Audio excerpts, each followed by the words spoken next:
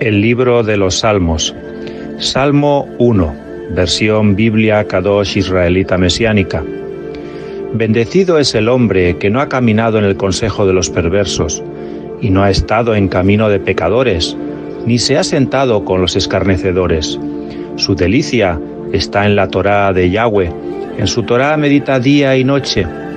Es como árbol plantado junto a corrientes de agua, da su fruto en temporada, sus hojas nunca marchitan, todo lo que hace prospera.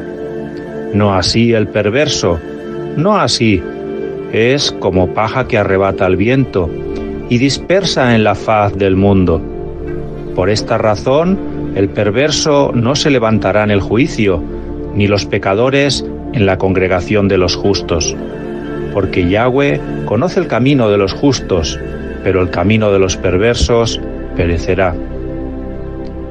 A continuación les dejamos con unos momentos de música instrumental para que pueda meditar sobre este salmo y también orar al Señor. Shalom, shalom.